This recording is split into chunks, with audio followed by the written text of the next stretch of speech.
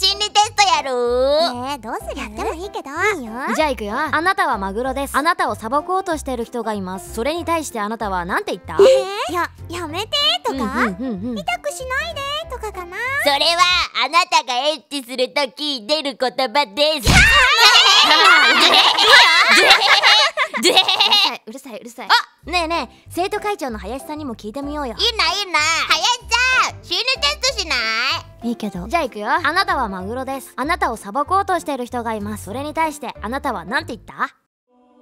やったらどうなるか分かってるんだろうな。顔覚えたからな。松代まで乗るってやる。かな？キュンなんで？ね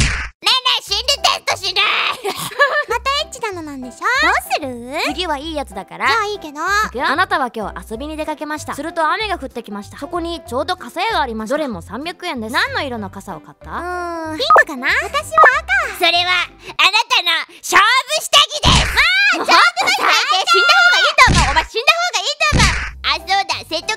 のさ林さんにも聞いてみようよ。うん前回が怖かったけどな。ちょっと聞いてみようか。林さん。心理テストしない？あなたは今日遊びに出かけました。すると雨が降ってきました。そこにちょうど傘屋がありました。